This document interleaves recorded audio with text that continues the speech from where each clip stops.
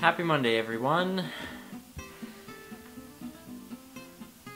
About two years ago, you may remember that I got the iPhone 5, which was my first iPhone that I've ever owned, and I was really excited about it. Today, I got the iPhone 5, my first iPhone ever. This was my phone before the iPhone 5 big difference. Well, two years later,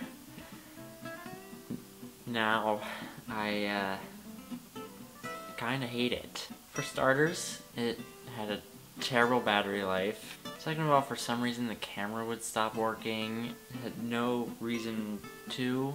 It just would stop working and then all of a sudden like a month later it would start working again and I didn't I never knew what the problem was. Um, and second of all, this just happened recently, the screen somehow started lifting up from the phone, and I don't remember ever dropping it. I mean, it has a case on, and it's just, it's just scary. Like, I've been really scared to hold it lately. I mean, look at this. That's the screen coming up. What? That's not supposed to happen. Here, look, I'll even take the case off so you can see it for real. Like, oh my god, it's gotten so much worse. And sometimes the button falls out. Now it's... Look at that! Oh my god! How's that even working? Like, that's weird. Look at that. That's kind of cool, actually. Okay, that I'm just gonna put that away. So I've always had problems with that phone for some reason. Like, it ran out of space really quickly. Like, I know that's kind of my fault, but but anyway. Two years later, kind of hate it. God, this is freaking me out. Like, it's seriously broken all the way around. But luckily, about a week ago, about a week ago, a week ago, fuck with us and then we tweaking. I got the iPhone 6, and has it been a week?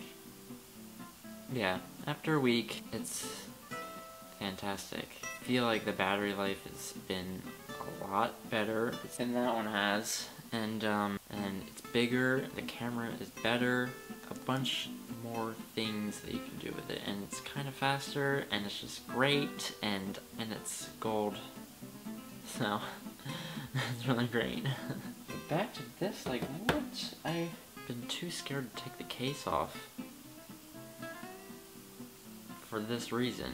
What supposed to happen? And the guy explained it to me, like the there's this lining that is supposed to keep the screen stuck to it somehow broke, but I don't understand how I broke it. Like, and it's still working. I guess that's kind of cool, but look at the camera. See how it's like coming up because the screen isn't really aligned with the camera yet, and it has this like weird halo thing going on. I don't know.